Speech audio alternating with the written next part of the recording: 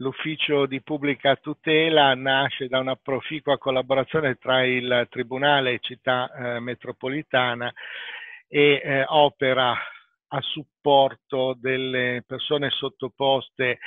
a uh, misure di tutela, quindi a situazioni, in situazioni particolarmente fragili eh, rispetto agli interessati ed ai loro uh, familiari. Copre un'area grigia rispetto all'attività più propriamente giudiziaria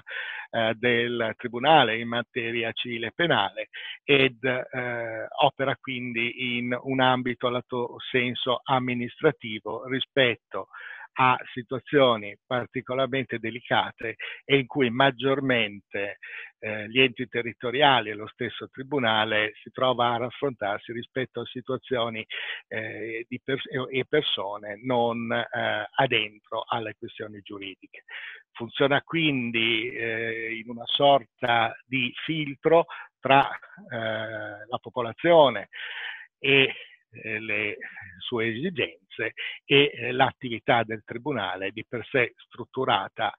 eh, rispetto alla giurisdizione e quindi non acconcia a fornire una forma di supporto alla eh, cittadinanza e quella parte della cittadinanza particolarmente eh, fragile. Sono sicuro che l'istituzione dello sportello non potrà che migliorare i rapporti tra la cittadinanza e lo Stato, eh, alleggerendo d'altra parte le cancellerie di un'attività che eh, non è eh, propria, quale quella del supporto alla utenza.